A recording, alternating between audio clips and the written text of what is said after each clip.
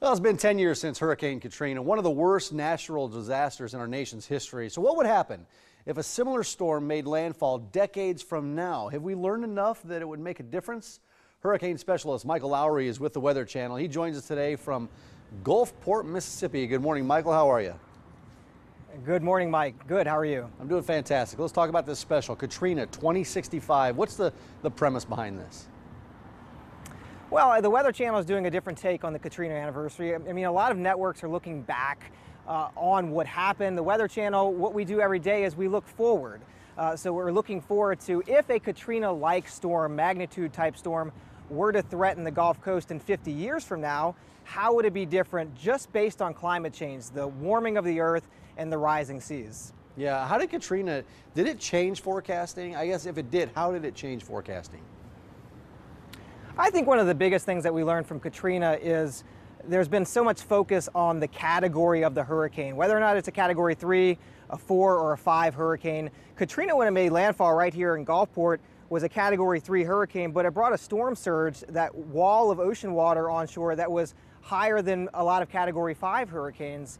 So really what we learned from Katrina is that every storm is unique. It's, it's like a thumbprint or a fingerprint um, we have to treat each, stor each storm individually and prepare for each storm individually. Yeah, I've seen some of these 10-year anniversaries. Uh, they look back uh, at Katrina.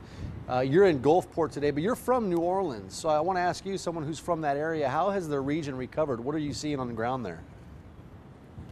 Uh, well, really, in 10 years, so much has been done to that city. Um, and a, a lot of uh, fortification of the levees have been have been done. Remember, with Katrina, the levee system wasn't entirely complete, and now they've really hardened that levee system so that it, it, will generally help to reduce the storm surge of a one in 100 year type storm, but it doesn't mean, Mike, that uh, that storm surge won't or the water won't overtop the levee system at some point.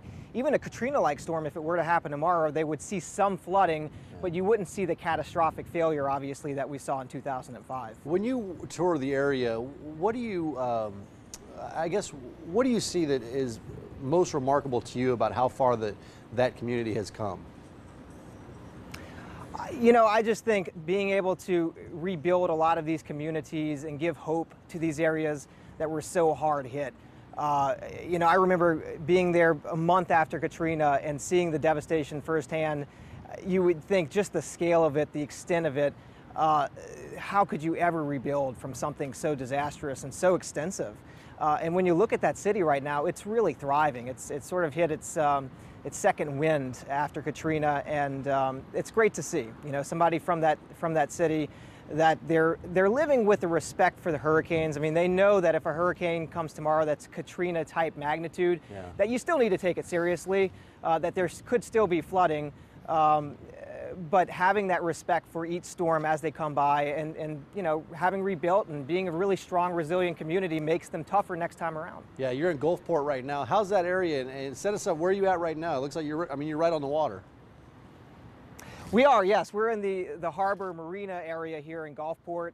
Um, when Katrina roared ashore 10 years ago, it brought a 28-foot storm surge to this area. So I'm six feet tall, Mike.